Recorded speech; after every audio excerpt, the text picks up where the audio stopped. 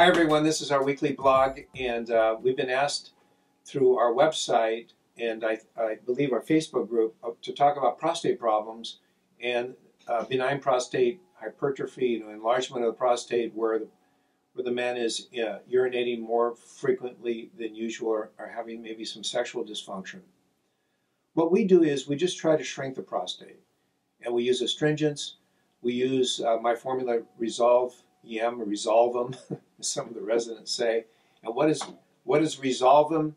It's simply uh, Zhenren Huoming Yin combined with Shi Liu Wei Liu Qi Yin. Zhenren Huoming Yin plus Shi Liu Wei Liu Qi Yin. Okay?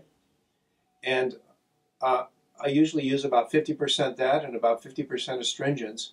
I might add in 20% Bazheng San like a diuretic. And usually that will shrink the prostate. It works pretty well. It's a very simple approach. You're using formulations